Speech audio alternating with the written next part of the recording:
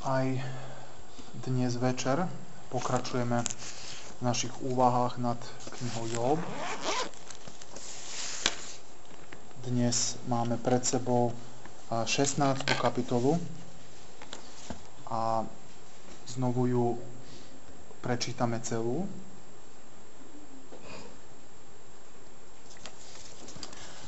Znovu, že je taký dlhší oddiel, tak navrhujem zostať sedieť. Takže budeme spolu čítať Job 16. kapitola od prvého verša, kde nám slovo Božie takto hovorí. Na to Job odpovedal takto. Veľa takého som už počul, všetci ste len takí sužujúci tešitelia. Či už bude koniec rečiam do vetra, alebo čo ťa dráždi, že sa ozývaš. A ja by som vedel hovoriť ako vy. Keby ste boli na mojom mieste, hromadiť slová proti vám a pokyvovať nad vami hlavou. Posilňoval by som vás ústami a už pohyb mojich perí by vám uľavil. Ak prehovorím, moja bolesť nepoľaví. Ak prestanem, čoho sa tým zbavím? Veď práve teraz ma celkom vyčerpal Vyhubil si celé moje spoločenstvo. Schmatol si ma, stal si sa svetkom, ktorý sa postavil proti mne. Moja bieda na mňa žaluje. Jeho hnev ma roztrhal, nenávidel ma a škrípal nad mňa zubami. Môj nepriateľ zaostruje na mňa oči. Naširoko roztvorili proti mne ústa, Hanebne ma vyfackali. Všetci do jedného sa proti mne spolčujú. Boh ma vydáva na pospas zločincovi, do rúk bezbožníkov ma odovzdáva. Bol som v bezpečí, ale mnou zatriasol. Chytil ma za šiju a roztrieskal. Postavil si ma ako terč, obkľučujú ma jeho lukostrelci. Krája moje obličky a nemá zľutovanie. Na zem vylieva moju žoč. Zasadzuje mi úder za úderom. Rúti sa proti mne ako bohatier. Na kožu som si ušil vrecovinu, svoj roh som zaboril do prachu. Tvár mi zčervenela od plaču a na viečkách mám tieň smrti. Hoci v mojich dlaniach nie je násilia, a moja modlitba je čistá. Zem, neprekry moju krv, nech pre môj nárek nie úkrytu. Veď aj teraz môj svedok je v nebesiach. Ten, čo sa za mňa prihovára, je na výsostiach. Priatelia sa mi vysmievajú, ale moje oko roní slzy pred Bohom. Aby rozhodol medzi mužom a Bohom, medzi človekom a jeho blížnymi. Veď prejde len niekoľko rokov a vydám sa na cestu, z ktorej sa nevrátim. Toľko prečítané zo slova Božieho. Máme znovu pred sebou Jóba, ktorý sa obracia čiastočne svojim priateľom, čiastočne Bohu. A v tejto časti ako nikdy doteraz môžeme vidieť Joba, ktorý sa postaví a snaží sa teda vybojovať za svoje právo. Doteraz sme stále ho videli ako toho, ktorý bol obeď a prial si už čím skorej zomrieť, ale teraz už v tej predchádzajúcej reči, po 14. kapitolu aj teraz môžeme ho vidieť, že ako keby sa chcel už ako keby sme ho vedeli si vidie, predstaviť, že sa snaží postaviť na svoje nohy a že by uh, výťazdil nad, nad svojimi priateľmi, ktoré hovorili veci, ktoré neboli ani správne a neboli ani na pomoc Jobovi. Job sa teda po piatý krát obracia ako som povedal, aj svojim priateľom na začiatku, ale potom sa snaží hovoriť aj Bohu, ktorý ako na, na konci ho nazýva, že on je môj svedok. On je ten, čo sa za mňa prihovára. To je veľmi dôležité, že by sme si všimli, lebo doteraz Boh bol ten, ktorý na nejaký spôsob bol nepriateľ, lebo všetky tie veci dovolil v jeho živote. A ako keby on sám ho trestal. A teraz sa tu objavuje aj nepriateľ, ktorého spomína a zrazu vidíme, že nie Boh je na vine, on je ten, ktorý e, je môj svedok, ktorý sa za mňa prihovára. Nepriateľ je ten, ktorý je môj nepriateľ, ktorý mi spôsobil to zlé, ktoré sa mi teraz deje.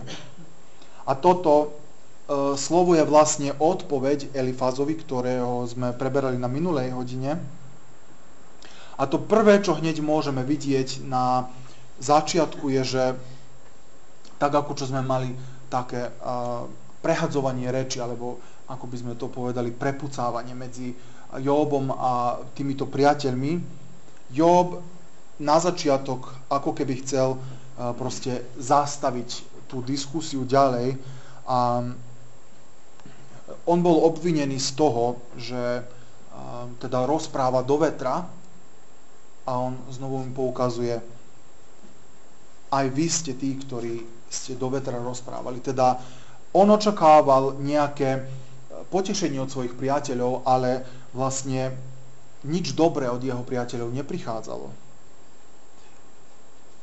On bol teda nešťastný z toho, že oni boli pri ňom a že nepriniesli mu nejaké potešenie, nejaké povzbudenie.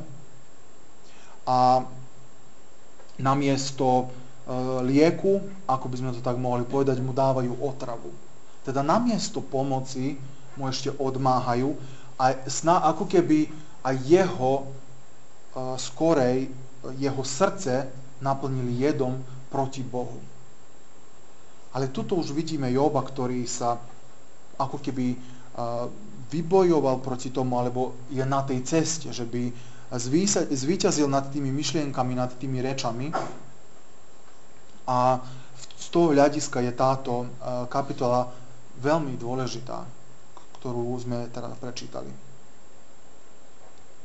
On ich nazýva teda, že sú služujúci tešitelia a predchádzajúcej reči v 13. kapitole ich nazýva na nič hodní lekári. Lekár je ten, ktorý má liečiť to moje meno hovorí. Lekár je ten, ktorý má pomáhať. Ak v tom zlyha, tak nie, nie je lekár. Nie je, e, nemôžeme ho nazvať lekárom, alebo ako Job nazval, že je na nič hodný lekár. Potrebuje pomoc, ale nedostávajú. Takže znovu tuto nachádzame aj tieto ako také obvinenia z toho, že tie reči do vetra sa hovoria. A teda v predchádzajúcej kapitole Elifaz to isté povedal aj za Joba. Keď sa naozaj pozrieme na celé toto, čo bolo povedané do, do teraz, od 1. až po teraz 16. kapitolu, naozaj by sme mohli povedať, že mnohé veci sa aj zopakovali, ktoré boli povedané, len inými slovami, alebo doslova boli zopakované viackrát. A mnohé veci, ktoré boli povedané, naozaj vyzerajú ako keby boli také prázdne slova. Slova, ktoré nikomu nepomohli, možno sa len ten oheň, ktorý bol, rozpálil ešte viac. Dá ten hnev, ktorý bol v nich, alebo to nešťastie. Teda namiesto, že by sme uhasili oheň s vodou a my nalejeme olej a to zblkne ešte viac. A v podstate môžeme vidieť, že aj jedni, aj druhí robili to isté. A jeden aj druhý ako keby uh, nechápali celkom, čo tí druhí vravia. Nevedeli sa uh, postaviť do Jobovej situácii, títo Jobovi priatelia. A je to celkom normálne, je to celkom uh, pochopiteľné. Ak sme my neprešli cez niečo, ťažké. Ak sme, ak napríklad my sme nikdy v živote nemali chrípku, tak potom nebudeme vedieť poradiť človekovi, ktorý je teraz ktorý leží v posteli a nemá sílu sa ani postaviť. Aj my by sme mu mohli povedať, čo sa pretváraš, veď to nie je také strašné. Ale keď aj my sme prežili tú chrípku a vieme, že niekedy to vie byť také ťažké, že ani len ruku nevieme zodvihnúť, tak potom s iným postojom aj k tomu človekovi pristupujeme. A podobné to nachádzame aj tuto uh, s týmito priateľmi aj s Jobom. On prežil niečo, čo títo priatelia ne, nevedeli sa ani predstaviť. Oni ho mohli pozerať, oni ho mohli vidieť a mohli sa pozerať na to, že čo on hovorí, čo on robí, ale to bola len jedna časť toho, čo sa naozaj dialo. Aj všetky tie slova, ktoré Job vypovedal, nevyjadrili vlastne v uh, úplnosti, čo sa skrývalo v jeho srdci.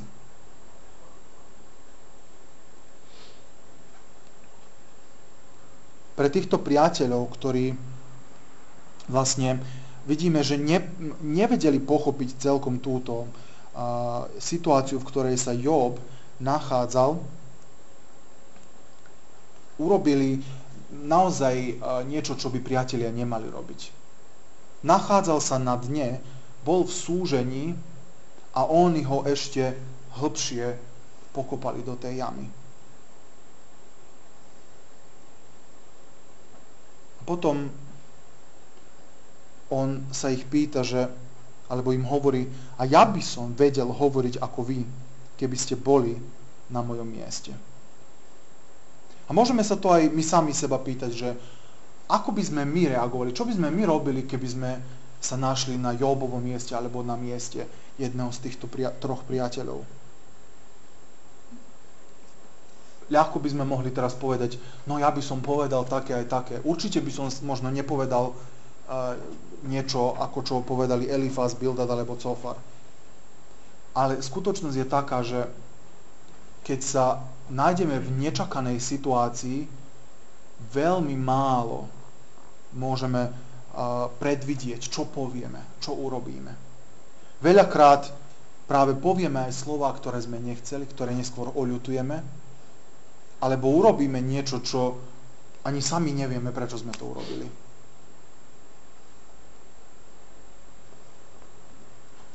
Takže z tejto strany by sme nemali ani nejako odsudzovať týchto ľudí, lebo my nevieme, čo by sme urobili, keby sme boli na ich mieste. On hovorí o tom, že hromadili slova títo jeho priatelia a to vlastne znamenalo, že hovorili rôzne príslovia alebo porekadla. Ak si všimneme všetko to, čo títo priatelia rozprávali, oni rozprávali, používali také obrazy zo zvierat, e, zo živočíšneho sfére, oblasti alebo nejaké rastliny alebo neviem ani čo. Také obrazy, ktoré boli básnické, ktoré boli, by sme mohli povedať, používané možno v nejakej literatúre, čím vlastne môžeme vidieť, že títo muži boli naozaj múdri, boli naozaj vzdelaní, čo v tej dobe nebol každý. Veľmi málo percento ľudí vedeli čítať, vedeli písať. A títo, ktorí určite boli načítaní, sa zdá, že nemajú nič originálne povedať, ale sa spoliehali alebo opakovali len to, čo starí niekedy hovorili. Alebo spoliehali sa na nejakú starú múdrosť. Stará múdrosť. To je to, čo sme aj my zdedili od našich rodičov, starých rodičov ktorá, nechcem povedať, že to je zlá. Ona vie byť veľmi uh, dobrá, lebo predsa ľudia, ktorí e, sú starší od nás, mali vždy viac skúseností ako my, keď nám nejakú múdrosť odovzdali. Ale spoliehať sa len na to, čo bolo v minulosti a nevnímať naše prostredie alebo nebrať do ohľadu našu vlastnú skúsenosť, tiež nie je celkom správne. Títo priatelia vlastne ako keby teda nemali nejakú svoju vlastnú teóriu, ktorú by mu chceli povedať, alebo nejakú vlastnú radu, ale sa stále odvolávajú na nejakých cudzích ľudí. Mnohé z týchto vlastne aj obrazov boli, ako som aj sám našiel, že, že sa našli aj v mnohých mimo biblických zápisoch, že to boli obrazy veci, o ktorých aj tuto sa hovorí. A to by sme možno mohli prirovnať takej situácii, kedy niekto, koho poznáme, by sa pokrájal s nožom, povedzme, nech je to niekto, koho poznáme, a potom by prišiel za nami, lebo, neviem, tečie krv a ide to veľmi rýchlo, a my namiesto toho, že by sme mu pomohli, mu povieme, pekne som ti povedal, že by si sa s tým nožom nehral. On povedal, no dobre, povedal si mi, ale teraz potrebujem pomoc, lebo sa stalo to, čo sa stalo. Ja som tebe pekne povedal, že si sa s tým nožom nemal hrať. No dobre, ale ja potrebujem pomoc. Ja som tebe povedal. My to môžeme opakovať, čo sme hovorili, ale v tej situácii to nepomôže nikomu.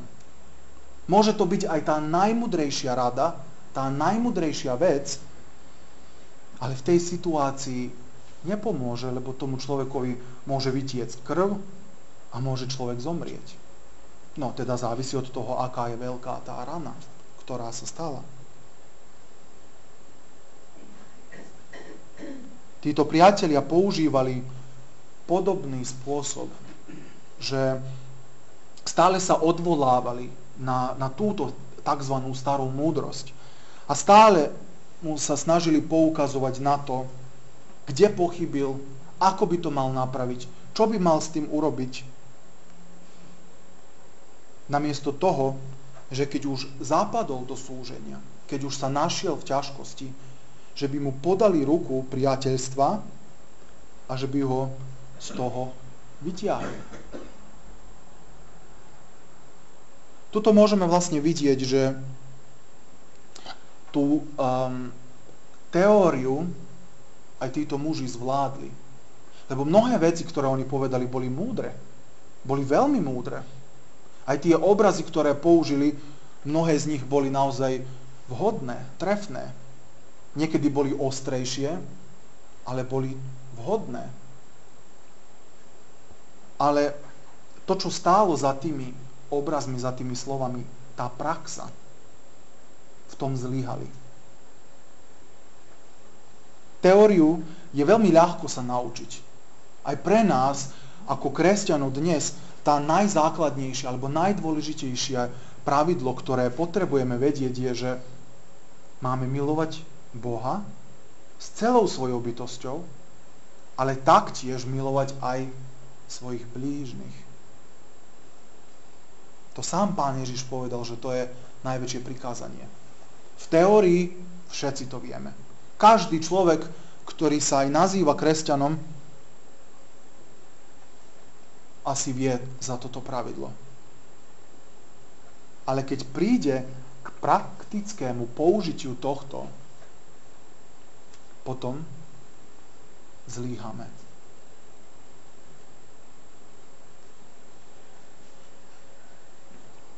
Pán Ježiš um, nie náhodou hovoril aj o tom príbehu o milosrdnom Samaritánovi, ktorý poznáme.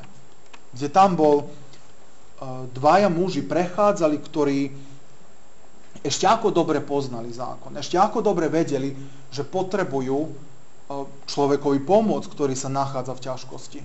Urobiť niečo dobré, prejaviť lásku k svojmu blížnemu. Ale oni sa rozhodli, že to neurobia. Mali na to svoje dôvody. A my teraz môžeme diskutovať, či naozaj je o mnoho dôležitejšie pre tých mužov, že by zostali čistí a že by sa nedotýkali toho človeka, alebo že by trošku aj zašpinili sa, ale že by pomohli človekovi, že by nezomrel.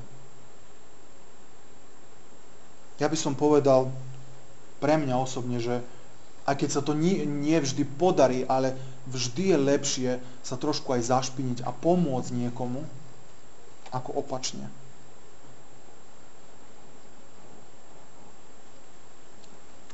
V teórii to ovládame, ale s praxou je to, je to trošku ťažšie. Pre každého jedného z nás je to um, nie je ľahké, keď naozaj sa nájdeme v takej niekedy situácii, kedy nevieme ani sami, čo máme urobiť. A pre Joba vidíme ešte na začiatku tejto knihy, že on podobne bol v tejto situácii. Poznal teóriu, ale nevedel, čo s ňou. Lebo mu priatelia hovorili, ty si mnohým radil, ty si pozdvihoval ľudí, ktorí spadli, tie kolená, ktoré sa podlomili, ty si ich pozdvihol a teraz nevieš pomôcť sám sebe.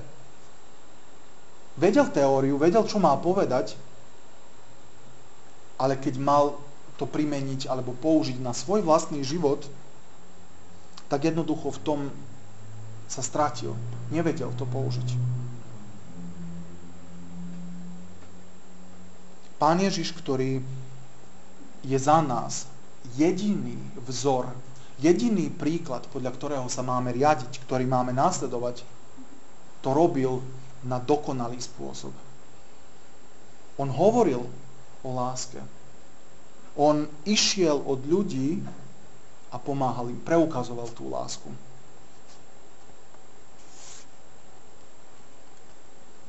Nie v každej situácii sa nám podarí pomôcť každému človekovi. Je to jednoducho nemožné, že by sme každému človekovi pomohli v každej situácii, ale máme mať postoj v našom srdci, ktorý hovorí, že kedykoľvek mám na to možnosť.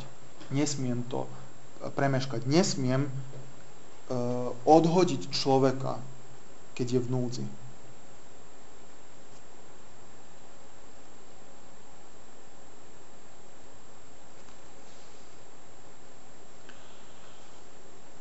Job po tomto sa obracia v jednom takom dlhšom oddieli od 7.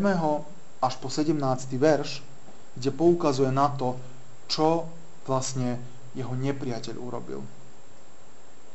Na istý teda a, má to, alebo malo by to byť ako také vysvetlenie. Aj mne by sa ľahko tak hovorilo, ako keby ste vy, ako vy, čo hovoríte, keby ste boli na mojom mieste. Ale počujte, čo všetko sa mne stalo. On hovorí potom teda od toho 7. po 17 že je vyčerpaný, teda že toto všetko, čo sa deje, ho vyčerpáva fyzicky.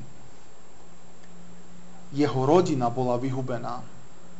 To je ďalší úder, ktorý bol strašný za tohto človeka. Že jeho nepriateľ ho smato, schmatol a že sa postavil proti jemu. Taktiež hovorí, že aj jeho hnev, teda nepriateľov hnev, ho roztrhal. Aj že ho nenávidel. Škrípal na ňo zubami. Ľudia ho vyfackali. Bol v bezpečí, ale bol zatrasený. Nepriateľ kráľa, krája jeho obličky a nemá zľutovanie. Toto sú len niektoré z vecí, ktoré on tuto opisuje týchto desiatich veršoch. Toto sú strašné veci. Toto sú, toto sú tie najhoršie, ktoré si možno vieme predstaviť. Bez rodiny zostal, bez priateľov. Ľudia sa mu vysmieva, vysmievali, ako aj on tam hovorí, že dokonca priatelia sa mi vysmievali. Ostal som na milosť aj na nemilosť zločincom, do rúk bezbožníkov som bol odovzdaný a tak ďalej. A všetko toto zároveň je aj psychická, aj, aj fyzická bolesť. Toto sú naozaj a, ťažké veci, ktoré, cez ktoré prechádzal, ktoré prežíval. A on chcel svojim priateľom teda povedať, nesúďte ma ani vy, lebo neviete, ako by ste aj vy reagovali, keby ste boli na mojom mieste. Neviete. Neviete povedať. Ani ja neviem, čo by som povedal, keby som bol na vašom mieste.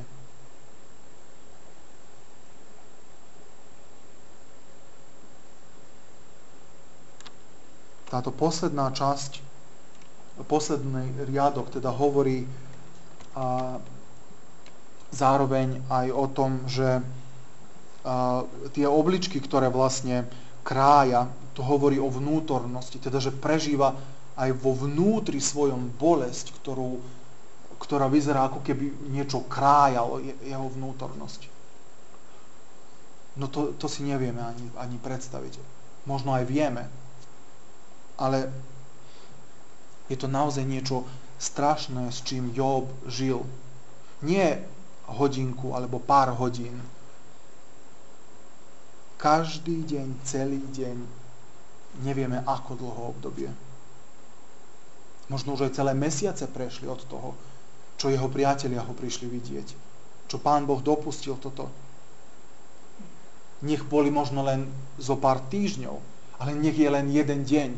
Aj to je naozaj priveľa. Podľa toho všetkého zlého, čo sa tam dialo.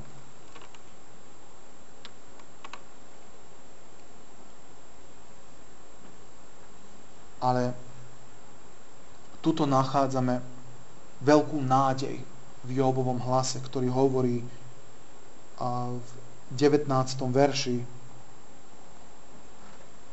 Veď je teraz môj svedok v nebesiach. Ten, čo sa za mňa prihovára, je na výsostiach. Priatelia sa mi vysmievajú, ale moje oko roní slzy pred Bohom. Na začiatku Job preklínal deň svojho narodenia v istom zmysle sme hovorili o tom, že preklínal to, čo Boh urobil. Lebo Pán Boh je ten, ktorý dáva život. A tuto po 16 kapitolách prichádza k tomu, že sa modlí Bohu a hovorí, On je môj svedok, On je teda ten, ktorý je na mojej strane a nepriateľ, ktorý mi urobil toto všetko, ale Pán Boh je v nebesiach. On je ten, ktorý sa za mňa prihovára. On je ten, ktorý mi pomôže. Takúto nádej mať v svojom srdci je naozaj niečo vzácne. Čokoľvek nech sa deje okolo mňa, ja viem, že Pán Boh ma zachráni, že Pán Boh ma prevedie cez čokoľvek sa deje. Nenachádzame to tými slovami v tomto oddieli ale aj ďalej, ako Job pokračuje. Ako ďalej hovorí, tá nádej, ktorá bola len malá iskra, len maličký plamienok sa stále viac a viac rozrastá. Lebo si naozaj uvedomil, že Pán Boh nie je ten, ktorý ho potrestal na takýto spôsob. Pán Boh je ten, ktorý mu chce pomôcť. Pán Boh je ten, ktorý ho miluje a on je jeho priateľ. nech naozaj aj nám pomôže tento oddiel. Alebo celá táto kniha, že by sme si uvedomili, že Pán Boh je aj náš priateľ. On nie je niekto, kto len sa snaží nájsť aj tú najmenšiu chybu, že by nás hneď potrestal na ten najhorší možný spôsob, ako si to mnohí ľudia predstavujú. Ale On nás nadovšetko miluje nech naozaj táto myšlienka nám je pred očami, v mysli každý jeden deň, že Pán Boh nás miluje a že by sme si uvedomili, spomenuli na všetko to, čo On pre nás učinil. Amen. Amen.